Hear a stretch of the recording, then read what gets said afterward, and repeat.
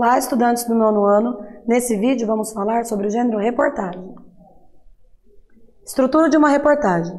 Uma reportagem tem título ou manchete, subtítulo ou título secundário, lead ou pode-se escrever lead em inglês e o corpo do texto.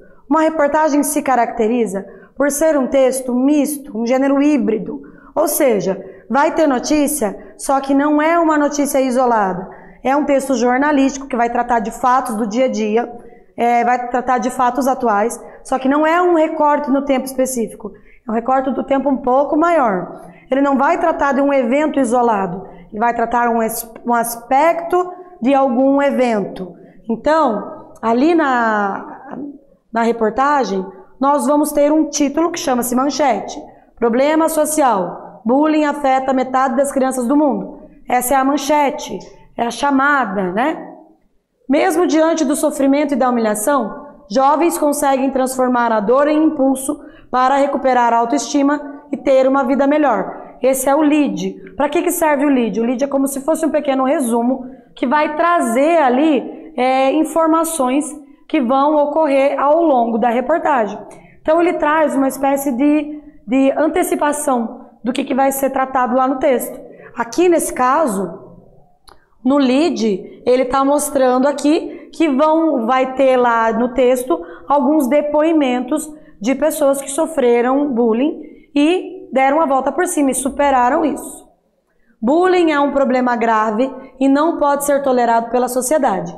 Crianças e adolescentes em todo o mundo estão sujeitos a sofrer atos de violência física ou psicológica praticados por um único indivíduo ou um grupo que causam dor e angústia. Então aqui nós temos a apresentação do tema, ou seja, ele definiu o que é o bullying e disse onde que isso acontece, que é no mundo todo. Então esse parágrafo mais geral, ele é apresentado ali para iniciar a discussão, né? A seguir, uma pesquisa da Organização das Nações Unidas, ONU, apontou que metade das crianças e jovens do mundo foi vítima de bullying em algum momento da vida. Foram ouvidas 100 mil crianças em 18 países. Os dados estatísticos são apresentados para trazer também maior confiabilidade. Então, eles vêm ali para ilustrar a reportagem.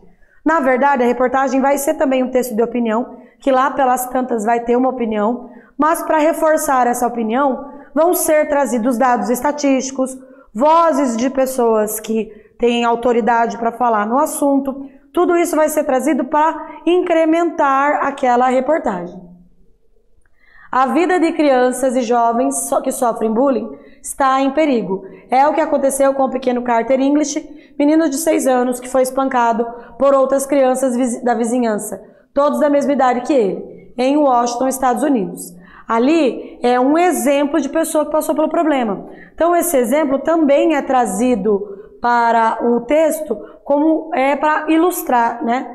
Linguagem. A linguagem da reportagem é deverá ser clara, culta, objetiva e direta.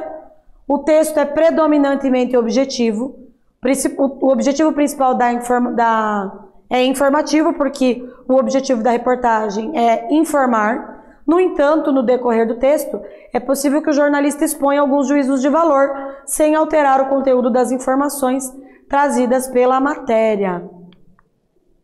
O material abrangente e elaborado, a reportagem não visa comunicar acontecimentos, ou seja, o objetivo é, seria ter desdobramento de fatos e por isso presume pesquisa.